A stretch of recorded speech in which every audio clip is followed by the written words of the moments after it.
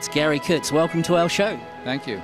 And how did producing A New Hope differ from producing Empire Strikes Back? The original Star Wars was a low budget film. The studio didn't pay much attention to it. It was considered very low budget at the time, and we struggled a lot with not having enough money or time. Whereas on Empire, it was a sequel to a very successful film. Money wasn't a problem. I had to direct the second unit myself for a while until I found somebody else. But the film, it was worth the effort because the film turned out really well. Extraordinary film. And so, which scenes did you direct yourself? Oh, well, it was just bits and pieces, really. Mark Hamill in the uh, Wampa Cave, for instance, uh, wow. hanging upside down.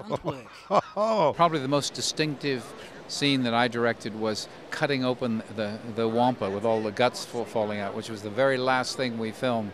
And my hand was the one that was in the shot. Is that right? Yes. Gee, that's a claim to fame right there. That's your cameo, is it? Yes, that's my cameo.